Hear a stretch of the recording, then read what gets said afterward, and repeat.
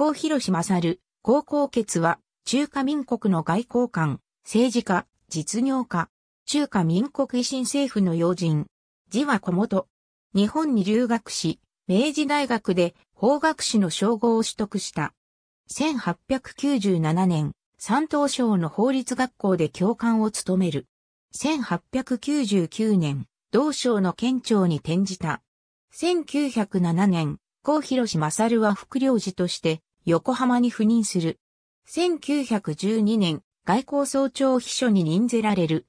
1915年、中日公使館一等書記官に転じた。1930年4月時点で公使館参事官の地位にあったほか、1921年、1922年、1925年、1930年、1931年に、それぞれ臨時代理講師を務めた。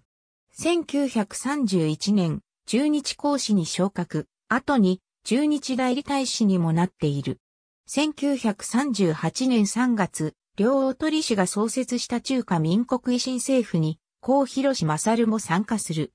同年7月、両が交通部長の兼任を解除されると、高広勝が公認の交通部長となった。以後、1940年3月に王朝明の南京国民政府と合流するまで、その地位にあった。南京国民政府成立後は、日中合弁の中華油船、株式会社で社長となった。以後、高広勝の行方は不明である。ありがとうございます。